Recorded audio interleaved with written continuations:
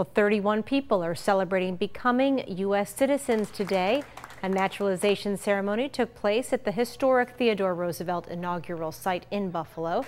The new citizens, spanning 15 countries and five continents, took an oath of allegiance before receiving their naturalization certificates.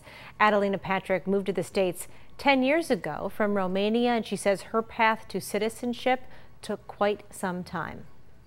I am very, very happy. Uh, I must admit I was very nervous this morning and I had a lot of um, emotions, but I am very happy right now.